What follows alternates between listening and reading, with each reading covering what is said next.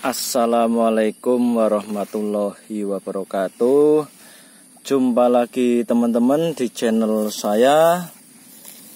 Di pagi kali ini saya akan memperlihatkan tanaman kapulaga saya Di musim kemarau. Seperti ini tanahnya saja sangat kering ini.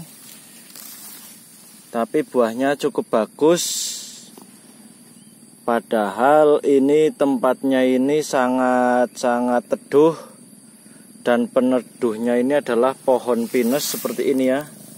Ini adalah daun pinus yang sudah berguguran dan menutupi pohon kapulaga saya. Ini pohon pinusnya teman-teman.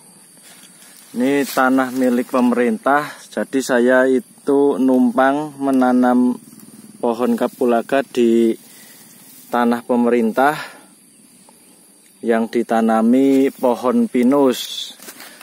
Kita saksikan buahnya cukup bagus, tangkainya juga lumayan panjang-panjang nih ya. Ini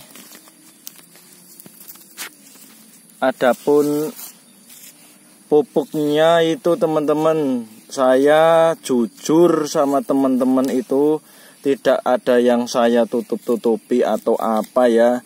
Saya itu dari pertama menanam pohon kapulaga ini hingga umur satu setengah tahun kurang lebih sampai saat ini ini belum pernah saya yang namanya memakai pupuk pupuk kandang maupun apa karena ini lokasi dari tempat saya itu cukup jauh apalagi medannya ini adalah pegunungan ya nanjak ini jadi tidak memungkinkan bisa dilewati motor. Kalau saya memakai pupuk kandang jadi saya rasa itu capek. Kita lihat pohon yang lain seperti apa buahnya. Saya tidak menutup-nutupi atau apa tidak berbohong. Kita lihat yang lain ini di sini juga penuh dengan daun-daun pinus yang sudah kering. Nih teman-teman buahnya cukup lumayan. Ini padahal musim kemarau ini kalau musim penghujan itu lebih bagus ya buahnya kalau untuk tanaman kapulaga ini karena sangat-sangat membutuhkan air dalam berbuah karena kalau tidak ini bunganya banyak yang kering teman-teman. Ini seperti ini. Ini pohon-pohon yang lain. Kita lihat yang lain lagi boleh?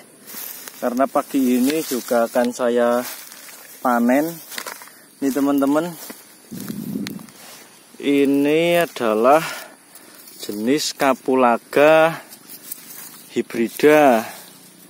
Katanya itu dulu itu malabar ini kalau saya belinya dulu. Jenis pohonnya ini katanya yang jenis malabar tapi entah mana yang benar. Kalau saya ini menamainya cukup dengan kapulaga hibrida saja cukup mantap ini buahnya ini. Banyak sekali ini. Nih bisa disaksikan. Dan yang sebelah sana itu itu adalah kapulaga lokal merah. Itu bukan kapulaga hibrida. Kalau menurut saya kapulaga lokal merah kalau pas musim kemarau kayak gini buahnya itu sangat jarang teman-teman. Bisa kita lihat bunganya pasti jarang dan kering. Ya ini adalah kapulaga lokal merah teman-teman. Bisa disaksikan buahnya nihil ya. Ada satu ini.